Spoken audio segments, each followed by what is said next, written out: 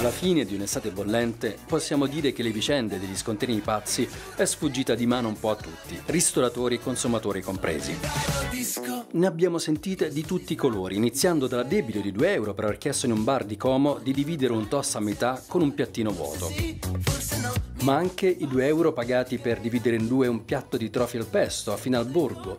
Prima ancora di sedersi il cliente può annotare sempre la stessa scritta sul menù che è appeso all'esterno della mia attività. Ma da nord a sud della penisola le disavventure sono molteplici ed è di pochi giorni fa la notizia di alcuni clienti che si scagliano contro il ristorante per aver pagato tre pizze a 60 euro, con il titolare che per tutta risposta dichiara a consumare al tavolo erano in otto. La CNN mette in guardia i turisti stranieri dalle fregature. Hey, mambo.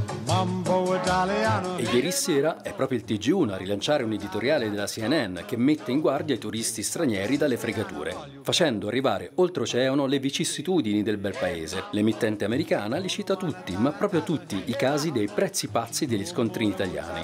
Dai 2 euro del famoso sandwich a metà, i 2 euro per far riscaldare un biberon al microonde ad Ostia, ai 60 euro per due caffè e due bottiglie d'acqua in Sardegna.